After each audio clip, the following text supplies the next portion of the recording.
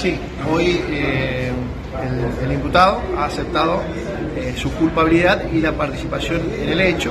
y a su vez ha aceptado también la pena, eh, la pena de dos años y seis meses de ejecución condicional, así como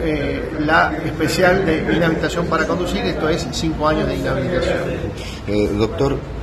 en un principio se pensaba que la maniobra o la mala maniobra para producir este siniestro vial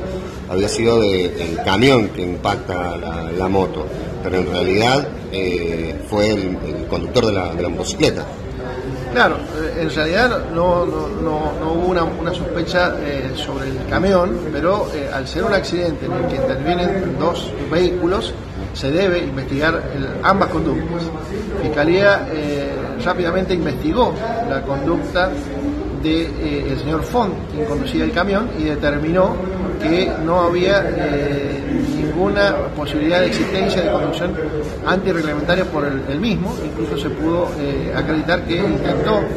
hacer una maniobra evasiva, hacia su derecha para evitar el impacto, lo que no dio resultado, pero en realidad la invasión del carril y la maniobra eh, o la pérdida culposa del dominio del conducido es del motorista, quien se incrusta contra el camión. Por eso fue que se definió no formalizar al señor Font y eh, acusar al eh, conductor de la motocicleta. Eh, ¿Con qué mm, calificación fue llegó a esta, condena?